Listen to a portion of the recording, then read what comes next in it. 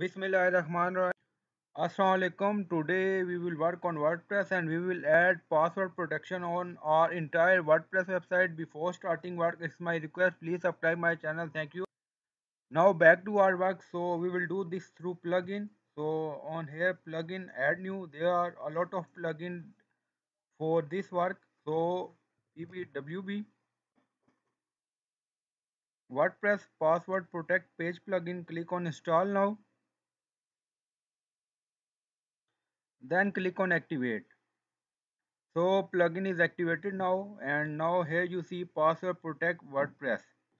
So now on option you see site wide protection click on it. So we will add uh, password on whole website entire website so enable it and then password set here. Then click on save changes. So save, uh, save uh, changes so now open the page to check so you see password protection is enabled. So now we will change its layout. So in appearance customize open it. Uh, customization is open and scroll down. You see ppwp site-wide login form. So click on it and then you see themes. So you can select theme from here. Now select on business and then publish and then refresh the page. So here you see theme is changed.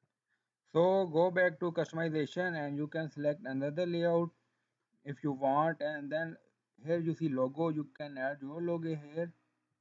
And in password form you can set setting according to your requirement. Enable form transparency. And you see a lot of options and then you see button you can change button text here. And also color. Then publish. And now refresh again. So text is changed. And here in setting you can do integration of the captcha and you can do it with this plugin to add uh, password protection on entire website. I hope you like this video. Please like comment share and subscribe. Thank you for watching